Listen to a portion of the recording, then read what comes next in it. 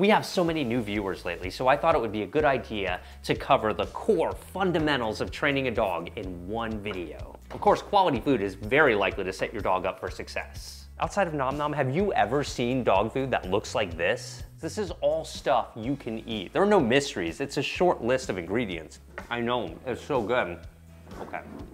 I just wanted one bite. You can share, can't you? It tastes pretty good to me. And since dogs can smell and taste better than we can, they must find it absolutely incredible. Every ingredient in here is lightly cooked, and that's the key to sealing in maximum nutrition. Nom Nom actually has an entire team of PhDs and scientists working to ensure their food is as nutritious as possible. If you want to give it a try for your dog, go to trynom.com slash Zak to get 50% off of a two-week trial. I'm pretty sure you and your dog will be very satisfied. Just try not to eat it all. Save some for your dog, too.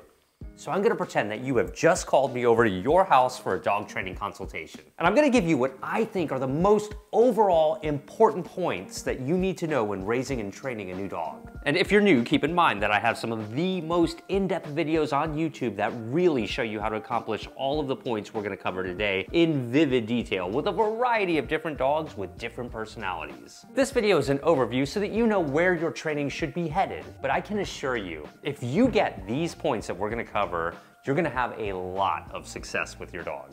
Number one, bond with your dog. Now this might seem obvious, but it's not intuitive at first for most people. Heck, even I struggle with this sometimes. I mean, it can be hard to have an instant connection with a dog, especially when they're exhibiting lots of unwanted behaviors, as most new dogs inevitably will. But your absolute main goal in the first few days to weeks with a new dog for both of you is to fall in love and really enjoy each other. We all know how easy it is to fall in love with a dog, and most of them don't need a ton of encouragement to be into us either. So how do we do this? Well, one place to start is by playing together. There are two natural games that many dogs love to play straight away, and those are tug and chase. For a lot of dogs, these are surefire ways to start speaking their language, which will lead to being able to teach them our language and customs.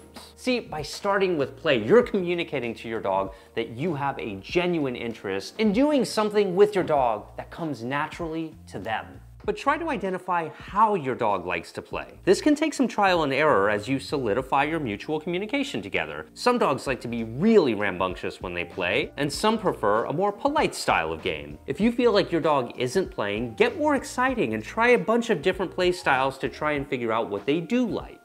Of course, after some genuine experimentation, a few of you may conclude that your dog doesn't really enjoy playing too much. But don't worry, there's lots of other things you can do. One reasonable substitute is to start with some low-key training where the emphasis is on keeping things enjoyable for your dog. I mean, super informal stuff. Maybe some lure training, basic recall training, all of it in an easy environment for your dog. Just spending time with them and interacting with them in a positive way will encourage your bond over time. Remember, overall, the basic goal is just for both of you to mutually love each other. I don't care how that happens. Be creative and explore your dog's personality while letting them do the same with you. Item number two is learning to achieve basic communication with your dog.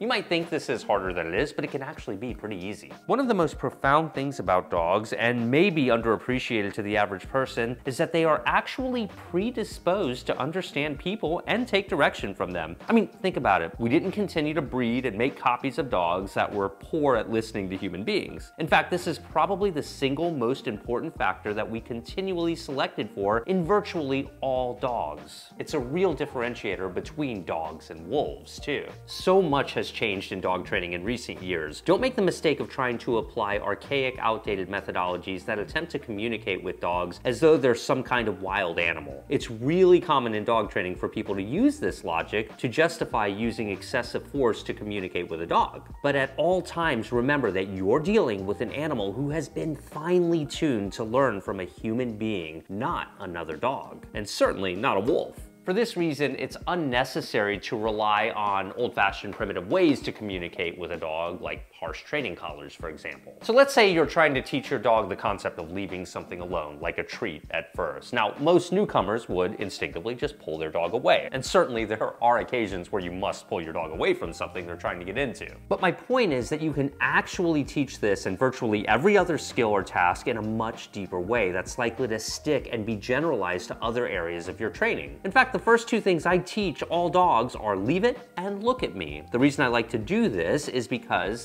basically teaches them the difference between yes and no. And once you have yes and no, you can really get serious about teaching. Just watch how fast it takes off.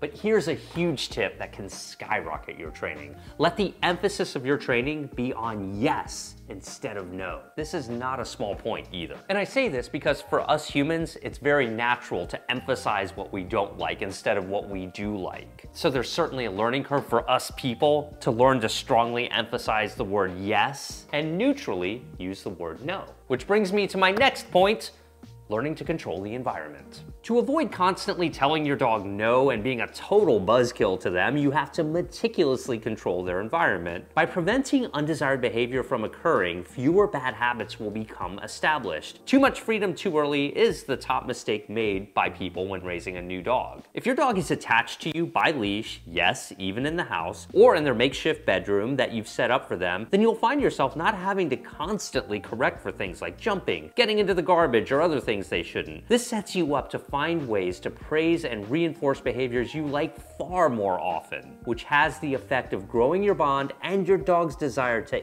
eagerly interact with you. Next, be overwhelmingly consistent.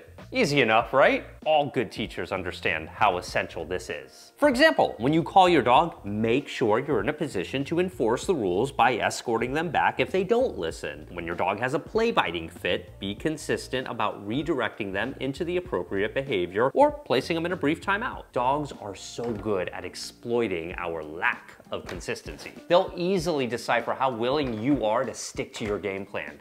Mean, we're dealing with a very smart species here. Naturally though, the devil is in the details. There are times to let your dog unwind and do their own thing too, and you'll need to feel this out with your individual dog. For example, your dog pulling you on leash can be absolutely maddening. In fact, it's one of the hardest things to teach most dogs. So in the spirit of being consistent, you might be tempted to absolutely never advance forward when your dog is pulling on leash. Instead, understand that perhaps you miscalculated and your consistency efforts would be more effective during leash training sessions that are easier for your dog. Maybe just in your living room at first, and when your dog is in a place that's too difficult for them, let them satisfy their curiosity and get experience there before asking them to behave perfectly. But what I'm trying to say is that while consistency is of the utmost importance, you have to balance consistency with your dog's current skill level. Next, Exercise. It seems that most unwanted behaviors occur from a lack of mental and physical stimulation. Keep in mind that dogs have been bred for literally thousands of years to have tons of endurance. And since most of us don't work with our dogs in the fields, as people once did, we must find alternative ways to fill this need within our dogs. Of course, regular walks are good for many dogs, but for higher energy dogs, the ones who experience a lot of behavior problems, consider at the very least teaching them a fluid, polished game of fetch as I routinely outline outline on this channel.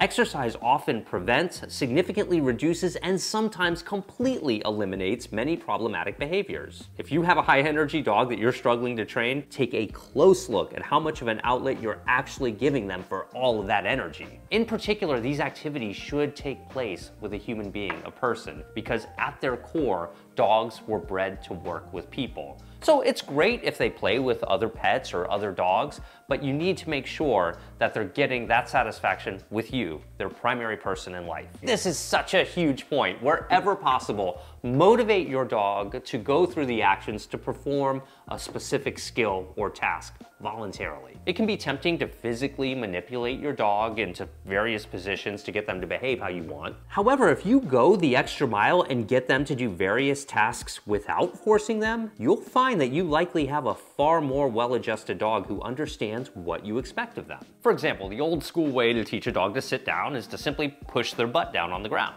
But if you show them how to sit without touching them at all, as I routinely show you on this channel, they're much more likely to absorb the concept. Or remember that leave it example from earlier? Instead of pulling the leash back to keep your dog away from something, if you take the time to teach them how to leave things alone without force, you're likely to give your dog a much better understanding of the concept. Now, I'm not just saying this because it feels good. By motivating your dog to actually want to pay attention to you rather than doing it just because you said so, you're ensuring that they're likely to pay attention to you and enjoy training much more, therefore making your training efforts more effective.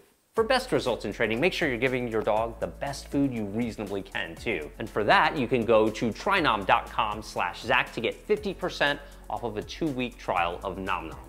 Subscribe to this channel, follow us on Instagram, Facebook, and TikTok, and get both of my books too. I'll have all the links below. I hope you guys found this video helpful. We'll see you next time.